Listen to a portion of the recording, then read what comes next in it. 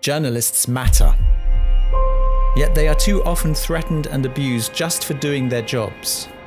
Insulted and harassed online and off, bullied to propagate falsehoods by people with a vested interest, taken to court to stop their legitimate investigations, imprisoned, tortured, killed.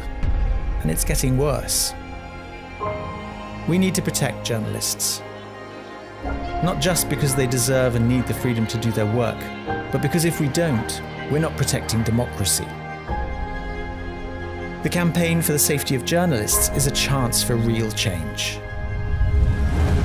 Building on the Council of Europe's solid foundation of protecting human rights and safeguarding democracy, it is the sign of a real commitment by member states to act urgently to address the issue in an effective way. It will work with every part of society to create an environment that respects the role journalists play in democracy and allows them to work without hindrance. It will bring together media organizations, media owners, policymakers, law enforcement, civil society, everyone involved, making sure that efforts to protect journalists are effectively carried out and that the standards that exist already are properly put into practice.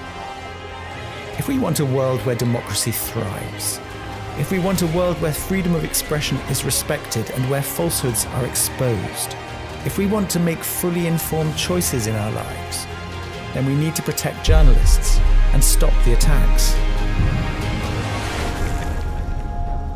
Journalists matter. Let's make sure they can work in safety.